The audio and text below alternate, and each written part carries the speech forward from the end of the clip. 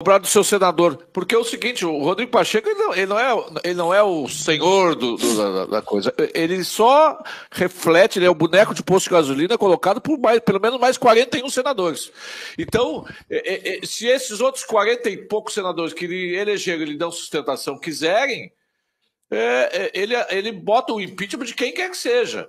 Não, e ontem, é. só para corroborar com isso, ontem, ontem, ontem, eu acho que o Pavinato levantou uma questão sobre o regimento interno do Senado, já, já é, que, não, que não é necessário a, a, a, é. se a mesa abrir não, mas não é a mesa. O, ah, o, o deputado que não tiver, o senador que não tiver atendido, uh, não for colocado em, em, votação, ele pode entrar com recurso. Mas quem é que pauta o recurso? É o próprio presidente. Os presidentes têm muito poder, seja na tudo. Câmara, seja no Senado. É muita concentração é, de poder e é uma coisa que precisa ser revista também. Tá, mas isso aí é outra, outra, outra batalha lá dentro do Congresso, não. É.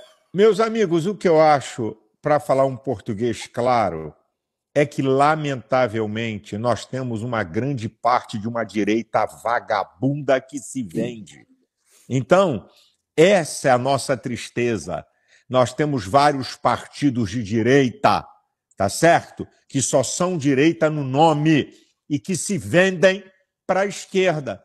É por isso que esses caras continuam mandando e continuam não pautando o impeachment. De que? Rodrigo Pacheco é de que partido? Por alguma casa de um partido de esquerda?